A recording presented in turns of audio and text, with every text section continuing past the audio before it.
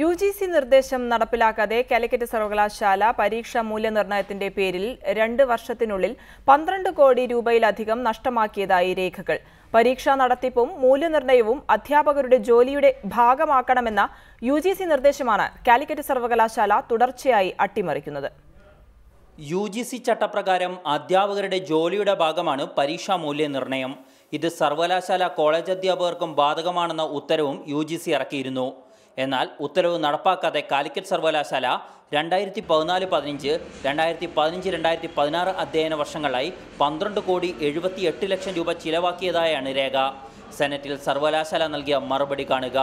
ഇതുപ്രകാരം രണ്ടായിരത്തി പതിനാല് പതിനഞ്ച് കാലയളവിൽ മൂല്യനിർണയം ദിന യാത്രാപത്ത അടക്കം ഏഴ് ദശാംശം പൂജ്യം ഒൻപത് കോടി രൂപ അധ്യാപകർക്ക് പരീക്ഷാ നടത്തിപ്പിനായി നൽകി. രണ്ടായിരത്തി പതിനഞ്ച് പതിനാറ് കാലയളവിൽ അഞ്ച് കോടി അറുപത്തി ഒൻപത് ലക്ഷം രൂപയും നഷ്ടം വരുത്തി.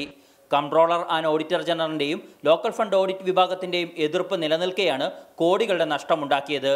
നേരത്തെ രണ്ടായിരത്തി പത്ത് മുതൽ രണ്ടായിരത്തി പതിനാല് വരെ ഇതേ നടപടികളിലൂടെ ഇരുപത്തിയഞ്ച് ദശാംശം ആറ് ആറ് കോടി രൂപ നഷ്ടം വരുത്തിയതായി ഓഡിറ്റ് വിഭാഗം കണ്ടെത്തിയിരുന്നു. ഇതും റിപ്പോർട്ടർ പുറത്തു കൊണ്ടുവന്നിരുന്നു തുടർന്ന് യു ജി സി നിർദ്ദേശം നടപ്പാക്കുന്നതായി ഉത്തരവിറക്കിയെങ്കിലും പിന്നീട് സർവകലാശാല പിൻവലിക്കുകയും ചെയ്തു.